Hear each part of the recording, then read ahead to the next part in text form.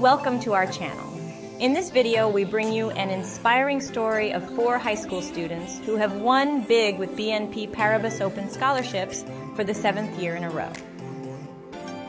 BNP Paribas, a leading European financial institution and a global sponsor of tennis, has awarded scholarships to four students from Desert Mirage High School in Thermal, California. This year's winners are Stephanie De La Rosa, Daniel Fernandez Roles, Jose Hernandez Beltran, and Caitlyn Hill, who each received a $20,000 college grant on March 16, 2023.